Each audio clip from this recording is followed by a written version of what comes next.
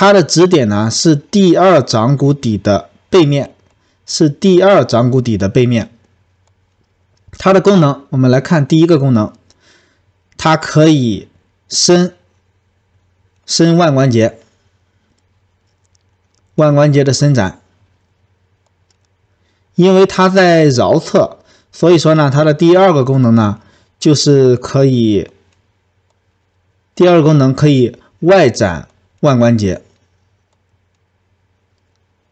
外展腕关节。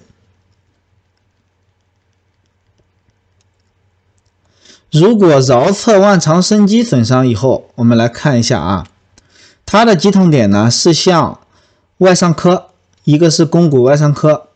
还有手背的鼻咽窝区域，这个区域，这个区域，你现在把你的拇指，呃，往上伸展一下，会有一个窝，那个窝呢就是鼻咽窝，它会向这个鼻咽窝这个区域啊传导疼痛和压痛，还有呢，它能造成肱骨外上髁的疼痛。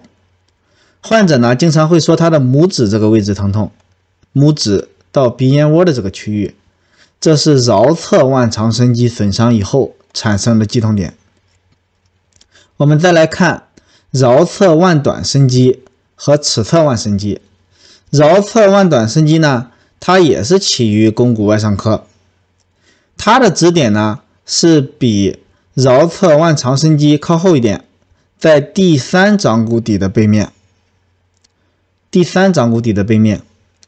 尺侧腕伸肌呢，它的起点。也是肱骨外上髁，它的指点呢是到了第五掌骨底，这是尺侧腕伸肌。先来看桡侧腕短伸肌的功能。桡侧腕短伸肌啊，这几个这几个腕伸肌，它们肯定都可以伸腕。所以说呢，嗯，它的第一个功能就是伸腕。第二个功能呢？也是可以外展外展腕关节，这是桡侧腕长伸肌，这是桡侧腕短伸肌，也是可以可以这个外展腕关节。尺侧腕伸肌同样的，第一个功能呢也是可以伸腕，也是可以伸腕关节，它是在第五第五掌骨底。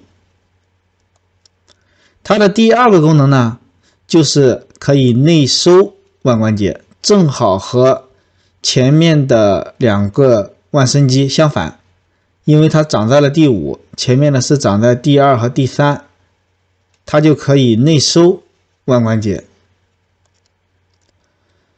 如果桡侧腕短伸肌损伤以后啊，它的肌痛点呢是向手背，还有还有这个腕部。大家看这个位置，手背还有腕部，而且呢，它是腕部中间的这个位置，是它是腕部背侧最常见的肌筋膜痛的根源。如果是腕部背侧出现疼痛的话，我们首先考虑桡侧腕短伸肌。尺侧腕伸肌呢，它的肌痛点就比桡侧腕伸肌更少见。它的疼痛模式呢，就是也是在腕背部，但是它是偏尺侧，偏尺侧。我们把三个手伸肌都放在一起来看一下，总结一下。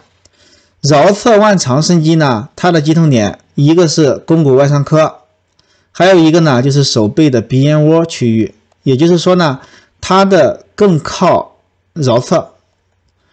然后桡侧腕短伸肌呢，它是靠中间手背部，然后尺侧腕伸肌呢，它就是靠尺侧。这样呢，我们就把三个腕伸肌都分分出来了。然后就是说，我们分为三个部位，一个是偏桡侧，一个是偏尺侧，一个是靠中间。偏桡侧的是桡侧腕长伸肌。偏尺侧的是尺侧腕伸肌，手背部还有这个手腕。偏中间的呢，就是桡侧腕短伸肌，它们的起点呢都是肱骨外上髁。这样就比较容易分辨了。如果它们损伤以后，我们应该怎么去处理呢？你先看它的位置，看到它的位置以后，我们大体呢就能判断是是哪一块肌肉损伤。但是呢，它们的基础呢其实都是连在一起的。我们可以从肱骨外伤科这个位置进行一个扫刺。你如果想精准的定位的话呀，你就可以让患者做一个伸腕加桡偏或者是尺偏的动作。你比如说尺侧腕伸肌的话，你让他伸腕的同时向尺侧偏斜，手腕向尺侧偏斜。这个时候呢，这个地方会有一块肌肉鼓起来，鼓起来的肌肉呢就是尺侧腕伸肌。我们就在鼓起来的位置呢去找压痛点。找到压痛点以后，我们就用零点五乘七五的原力针向下平刺，平刺以后呢，可以左右扫一下。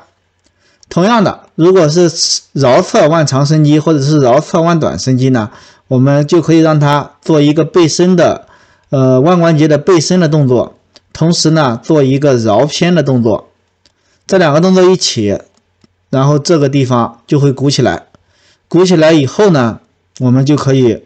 找到压痛点，找到压痛点以后，我们就可以用零点五乘七五的原力针皮下扫刺。其实呢，我们看图中，桡侧腕长伸肌的肌痛点呢更靠上，桡侧腕短伸肌呢更靠下，这是它们的区别。但是呢，其实我们用原理针的话，其实都扫到了，你都可以扫一扫，然后都能够给它分解下来。这就是手伸肌的处理方法。然后这是我们的配套书，我们的配套。